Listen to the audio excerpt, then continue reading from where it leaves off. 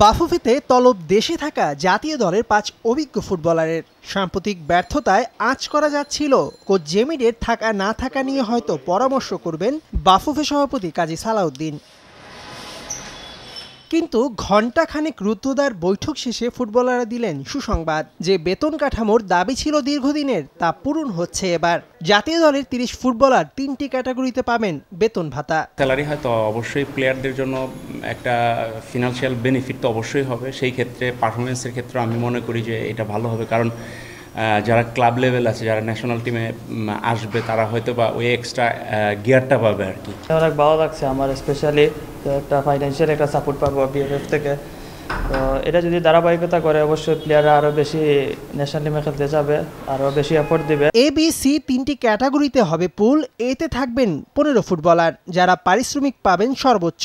B ক্যাটাগরিতে থাকবে দশ জন আর সিতে থাকবেন পাঁচ ফুটবলার। লিগের পারফরমেন্স যাচাই করে নির্ধারণ করা হবে পারিশ্রমিক যা কার্যকর হবে চলতি মৌসুম পর। খারাপ খেলে then his out of the team he'll go to the second phase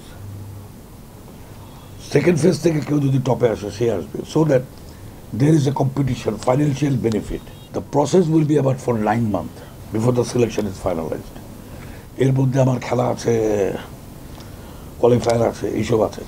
তো কমপ্লিট সিলেকশন করে এটা আসবে। জাতীয় দলের পারফরমেন্স নিয়ে বাফুফে সভাপতি চুপ। কেন চুপ তা জানালেন। সবাই দেশে ফিরলে তাদের নিয়ে আবারও এ বিষয়ে আলোচনায় বসবেন বলে জানালেন কাজী সালাউদ্দিন। এই ওয়ার্ল্ড কাপ কোয়ালিফাইড নিয়ে সিলেকশন নিয়ে কোচ কোনো আলাপি যাব না। I will give you that interview after the fifteen so that আমার কোনো কথা যেন টিমের উপর ইম্প্যাক্টে না আসে। বেতন কাঠামো চালু দেশের নরবরে ফুটবল ব্যবস্থায় অনন্য এক মাইল ফলক হতে যাচ্ছে, যাতে অনুপ্রেরণা পাবে ফুটবলাররা। মেদিনাইম সময় সংবাদ, ঢাকা।